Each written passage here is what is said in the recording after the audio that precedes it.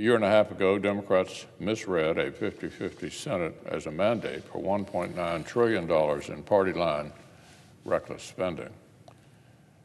The result has been the worst inflation in 40 years. With Democrats in charge, working families are having to spend thousands of extra dollars each year just to tread water. Grocery costs are through the roof. Energy bills have skyrocketed. Gas prices are more than a dollar higher than on Inauguration Day.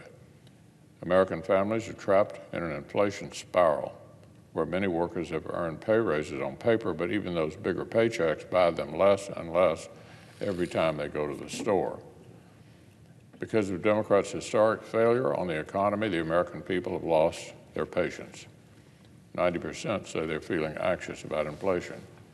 Only 28% like what President Biden is doing about it. And just 22% think we'll be in any better shape after another year of Democratic leadership. But amazingly, Senate Democrats are misreading the American people's outrage as a mandate for yet another, yet another reckless taxing and spending spree.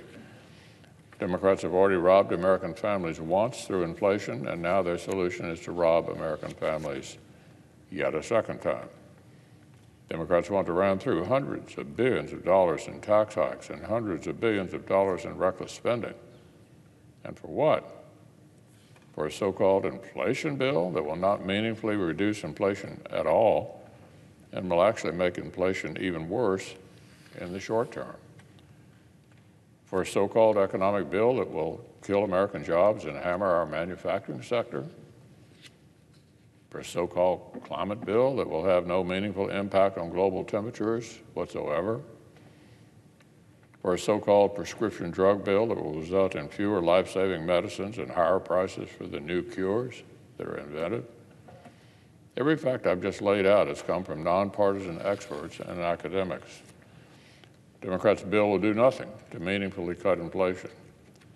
Hundreds of billions of dollars in tax hikes on a struggling economy will help, will help kill American jobs.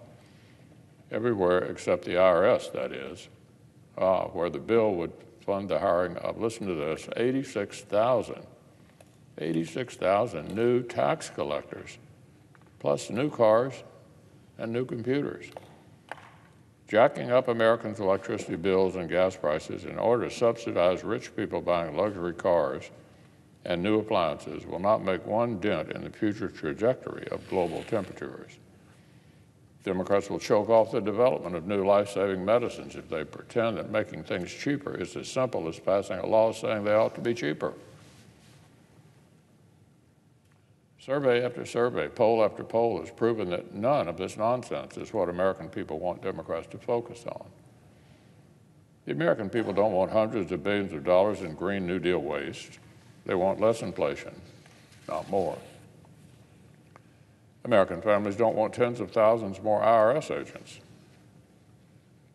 What they'd like are more border, border patrol and ICE agents. American families don't want Democrats policing what kinds of stoves and clothes dryers they can put in their homes. What they want is for Democrats to start actually policing our city streets. Democrats have decided their first economic disaster justifies a second economic disaster. The working people of this country feel very, very differently.